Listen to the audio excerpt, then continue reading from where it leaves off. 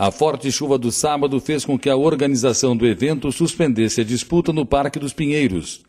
Apesar de ter feito sol neste domingo, uma nova data será escolhida pela equipe organizadora.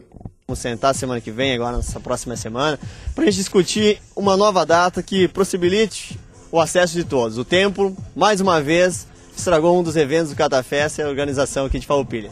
Mas a gente vai comunicar a todos os farroupilenses e toda a região para a próxima data, o próximo campeonato de skate aqui em Farroupilha.